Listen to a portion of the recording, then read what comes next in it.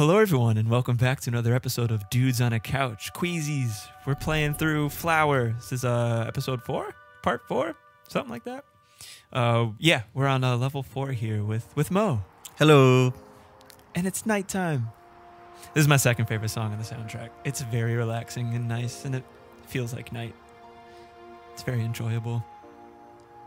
Oh yeah, uh, the last episode I was talking about um, this guy Steve Reich. Um, he did this music called. It was based off of like phasing, where you have two similar tracks that are played on top of each other, but one's like slightly faster, so they start to get off time. Kind of like when you're at like a stoplight and you see a blinker in front of you, and it gets in sync with your blinker, but then they slowly get off of each other, and then they slowly get back on time, and they It's a really good way to explain that that. one moment. Yeah. Uh, well, that's phasing, and he did it with like like speeches and audio tracks first, which was very disturbing. But then he did it with um, uh, marimbas and like percussive instruments, percussion instruments. And he came out with um, a couple of albums. One was um, or compositions. Everyone check out. I think it's called Music for 18 Musicians. Um, my like mentor back in high school sent it to me, and I was like, "Oh, this is amazing." Uh, I always listen to it when I'm studying because it has this constant pulse behind it, with this super lovely like ambient sound to it, where it's 18 musicians. Some of them are playing like marimbas and other instruments of the like. Others are playing like clarinets. Um, just really like relaxing, um, like good timbre instruments, I guess you could say. Uh, super relaxing, but has a pulse behind it, so you can like keep doing your thing. Kind of like this music. Like right now, you have that constant piano, just doom, doom, doom. That kind of keeps you moving, but everything else is super calming behind it, so it's you don't get anxious. You know, it's not that anxious type of feeling. It was very much like the last level. That soundtrack was very reminiscent of it. But it's so much. This looks amazing. Oh my god! This is really cool. Am I like just, the lighting. I'm just painting this area, I guess. Yeah.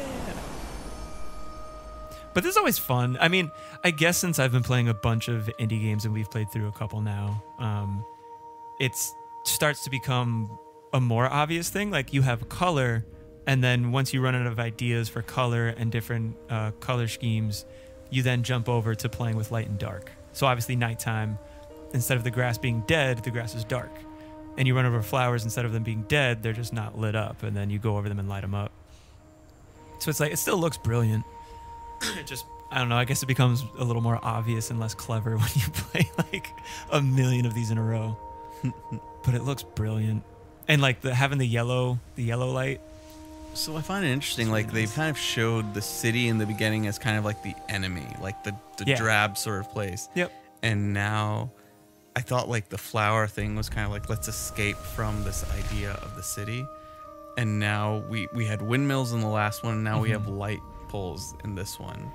Yeah. Um, so I don't know if this is like bringing us back to the city. Well, actually, so I haven't played through this game. I've seen bits and parts of it. So I think it's supposed to be like this is what nature is. You know, it's supposed to get you or be or remind you what nature's actually like. It's very pleasant. It's very for yeah, lack of a but better the- word, we've got hay bales here.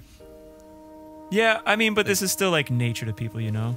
Um, but also, this is the first time we've seen like man-made things, with the exception of the windmills. But the windmills over there, you can see, are man-made, but supposed to be uh, not as obtrusive or obstructive as other things like the city. It's like now, as we go through the levels, we're seeing more man-made stuff, like hay bales, lights, structures, electricity. Um, and the city is all supposed to be like detrimental to like nature, right? It's something that takes away from it. And I guess this is supposed to be maybe, um, I don't know, save the nature, like nature conservatory type of, thing. No, man. type of thing. what? I have so many issues with this. Why? Well, I mean, like I, I think the the artistic sort of composition of it is really cool, Mhm. right? Like he's got this sort of idea of like, hey, let's kind of like give this idea of old country. We're out in the yeah, hey, just Sorry. like let's just go out in the country. Don't make fun of me. Yeah. Okay. Yeah. yeah, yeah. It's like that's that sort sort of thing of like this is the representation of what I think he feels better than the city is like living out in the country. That's meaningful, but it's kind of muddied by that sort of aspect of like the city isn't isn't necessarily a place that you can find this sort of peace and stuff. Like, I mean, go to Boston Commons out here, and if you've ever been there on like a beautiful day, um, even on a rainy day, it's gorgeous. Yeah, but I, I think it's, it's this is getting back to the whole concept of like um, man-made structures and cities take away from green spaces. No, they do. They No, they do. They Get can. They can. Well, there's already been right, but well, you can have mixture of both. Like there's there's um No, you you can, but the whole thing is like, well, for example, now we have like global warming and what's contributing to it, and I guess that's what this game is kind of getting at is that a lot of, um, oh, it looks so nice. A lot of things that are bad to nature come from cities and cityscapes because you're getting rid of it. You don't have these like lights out type of areas where you can look up at night and see the stars. You go out in the city and you look up at night, you see like one or two.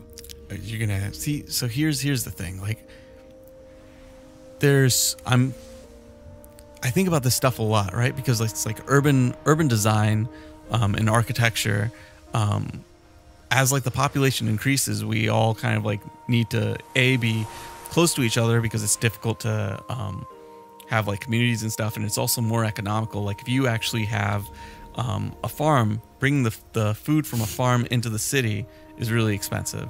But having a farm inside of a warehouse which isn't something that i think most people would necessarily consider but is becoming more increasingly um, a viable solution to having like produce and green in like a urban sprawl um, is actually becoming more a reasonable thing. And and not only that, but it's it's more cost effective. You don't have to use as much water. You don't have to use pesticide because you're able to climate control stuff inside stuff. There's a MIT professor named um, Neri Oxman, and I think like some people might have seen her in the news because she was like rumored to be dating Brad Pitt. Was that true? Yeah, yeah, yeah, yeah. Nice. She's she's she's beautiful too. You just like look up uh, like a picture of her. She's just like this really intelligent woman. Um, Don't fuck it up, Brad.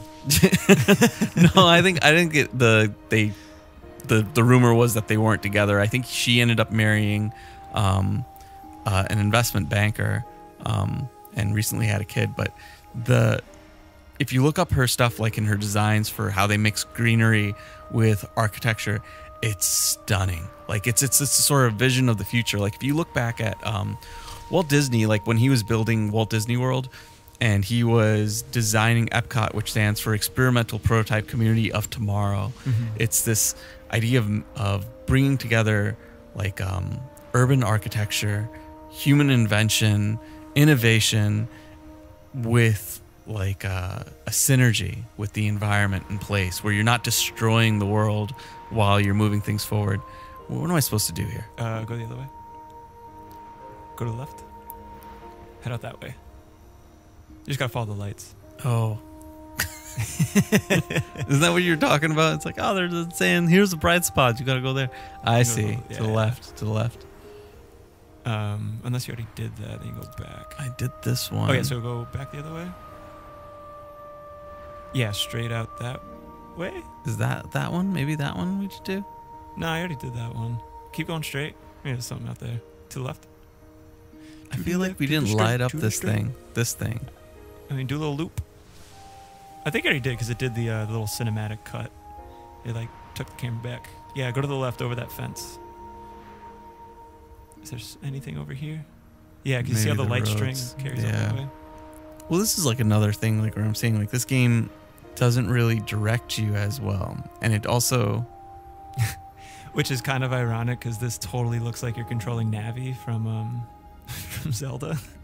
I'm just waiting for it to go. Hey, see. Did you see what it just did there? Like where it went whoosh, and it like held me. It's now holding me in this place. oh, maybe because you can't go out that way. No. Oh, I can't. Okay. this is what I'm talking about. But it's nice. The music's nice. It looks nice. Just enjoy yourself, Mo. Mean, uh, just oh, that's why. That's I gotta paint this. I didn't paint this all. ah, gotta turn on the lights.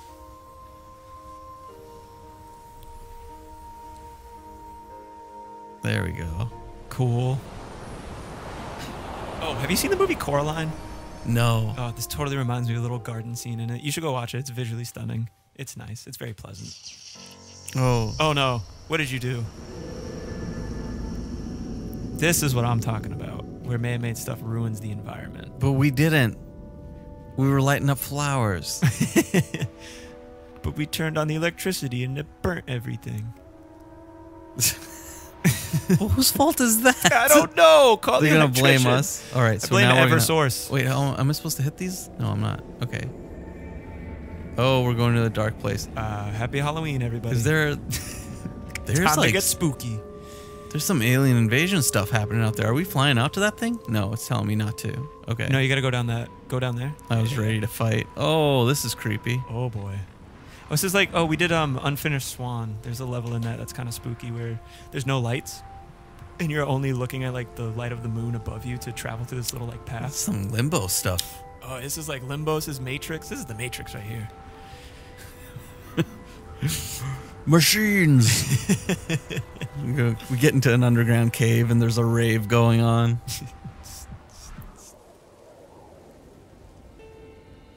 Oh no. Oh no. Boy, what's that? An oh no, that's a flower. Oh, in the sprawl of of, of construction. That's as far as it goes. It's now a barren wasteland. Or a dead wasteland. Oh, we got a petal. That's probably from the um, little wagon wheel. Ooh, is that in the middle? Maybe there's only one. That looks good. oh, look at that dead one. Oh, Oh, shoot, I'm- I'm going into the next oh, scene. Well, well, come join us next time to see if we can um, make this gloomy weather not so gloomy. We're gonna try. We'll try. We're gonna try. We're gonna try. We're gonna try our best. Well, see you guys next time. Bye bye.